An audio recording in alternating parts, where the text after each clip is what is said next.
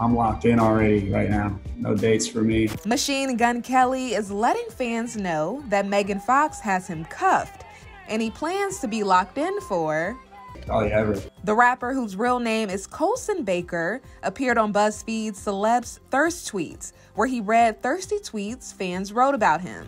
Machine Gun Kelly, I just want to let you know that I'm free this Sunday to go on a date. Just let me know if you're free Sunday because I'm free and would like to take you on a date. Machine Gun Kelly politely declined the offer and made it clear that he's off the market, hopefully for good.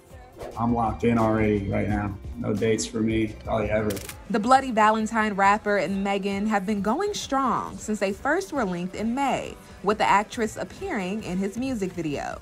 And recently, the two have been giving fans a glimpse inside their relationship on social media.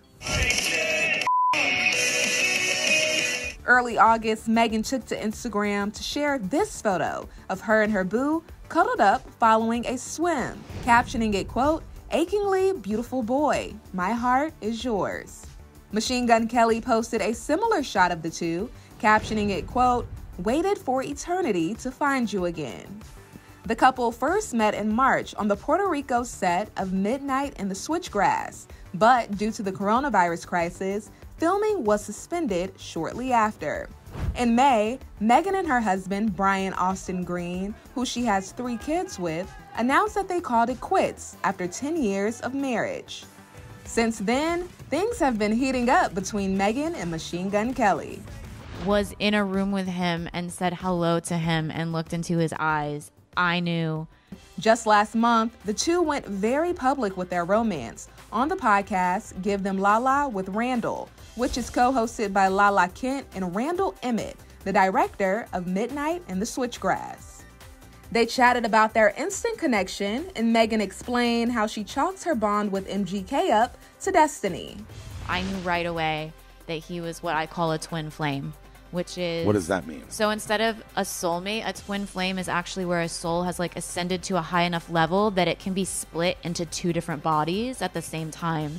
Oh, so we're actually two halves of the same soul, I think. Wow. And I said that to him almost immediately. what? Because I, I felt it right away. This is definitely a new chapter in Megan's life.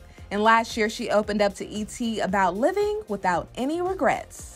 For me to sit and be resentful, um, or to really regret something, to suffer because of something that I did in my past, I think is pointless because any choice that I made, I have to accept responsibility for it. And I also have to acknowledge how it grew me as a person because there was not one thing that I went through that was trying or difficult that didn't help me to grow into a better individual, a smarter, stronger, more patient, more kind person. So there's no point in regretting those things. And I also don't believe that I've ever been a victim. Again, I think that I manifested my reality and it was a reflection of my own belief systems. And so I had to live through it and work through it and continue to grow and change my beliefs so that my reality would change.